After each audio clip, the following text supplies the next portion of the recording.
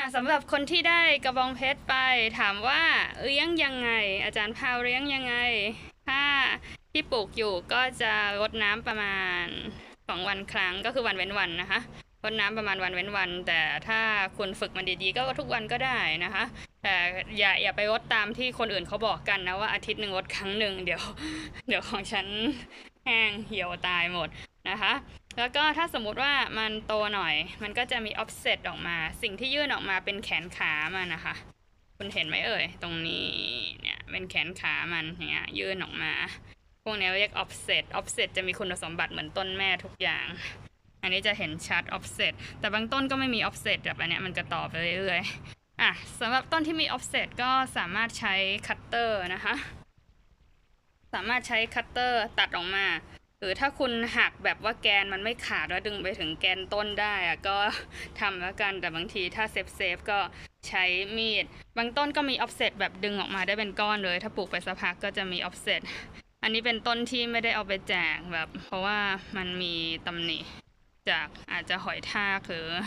อะไรก็ตามนะคะ ส่วนใหญ่ก็จะโดนหอยทากเยอะมาก ช่วงหน้าฝนที่ผ่านมา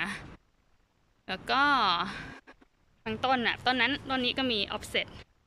ถ้าเป็น pencil cactus แบบอันใหญ่ ๆ ก็สามารถหักไปปักได้เลยเหมือนกัน พวกต้นที่ไม่มี offset อย่างนี้ถ้า ถ้าคิดจะทำให้มัน ถ้าถ้าไม่คิดจะรอดอกออกผลหรือรอเมล็ดอะไรอย่างเงี้ย ก็สามารถที่จะตัดไปปักได้เหมือนกัน แต่เราก็ไม่ทำก็รอให้มันโตไปเรื่อยๆต้นต้นพวกนี้ก็ใหญ่มากอะตอนที่เราเอา offset ออกมา หน้าตาเป็นแบบนี้ อันนี้ก็คือ เตรียมพร้อมสำหรับเอาไปปลูกต่อได้แล้ว offset ต้องมีขนาดใหญ่หน่อยนะอ่าเทียบกับนิ้ว เห็นปะเทียบกับนิ้ว อันนี้ยาวน่าจะประมาณสักห้ถึงหนิ้ว อันนี้ยาวประมาณสักสองนิ้วครึ่งนะคะ สังเกตได้ว่าต้องรอให้ offset มันมีขนาดใหญ่หน่อยถึงจะเอาไปใช้ได้ ถ้า offset เล็กไปเดี๋ยวมันจะตายก่อนอะเตรียมดินทำยังไง ถ้าสมมติว่าได้ offset นี้ออกมาแล้วจะลงต้นใหม่ ก็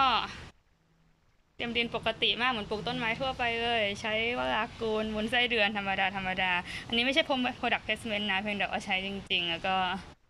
แล้วก็หาซื้อยากนิดนึงมีที่บ้านแถวแถวบ้านก็ขายอยู่สองสามร้านเองอะก็บอกเฉยๆเออ แล้วก็ลืมมีคนถามว่าพันพวกนี้พันอะไรนะคะ อันนี้จดออกมาให้เห็น เอ่อ ให้ดูอันนี้ขนสีทองทองแมมมิราเรียอีลองกาตานะคะ ถามอันแรกต้นไหนเอ่ย แอบไปส่อง ต้นที่คือแมมมิราเรียอีลองกาตาคือต้นนี้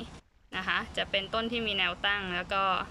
ขนสีทองนะคะ ออกออฟเซตก็จะออกด้านข้าง สามารถตัดไปปักได้เหมือนกันนะคะ ดึงดึงไปปักได้เหมือนกัน